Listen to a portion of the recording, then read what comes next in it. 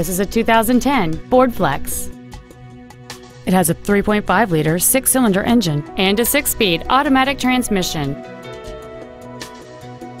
Its top features include the adjustable driver pedals are another great feature. They allow you to tailor the position of the foot pedals, moving them closer and higher to perfect your control over the vehicle. A moonroof, cruise control, a six-speaker audio system, leather and alloy steering wheel trim, four-wheel independent suspension, big 18-inch wheels, a low tire pressure indicator, heated front seats, and this vehicle has fewer than 20,000 miles on the odometer. Stop by today and test drive this vehicle for yourself. Sheehy Ford of Springfield is dedicated to doing everything possible to ensure that the experience you have selecting your next vehicle is as pleasant as possible. We are located at 6727 Loisdale Road in Springfield.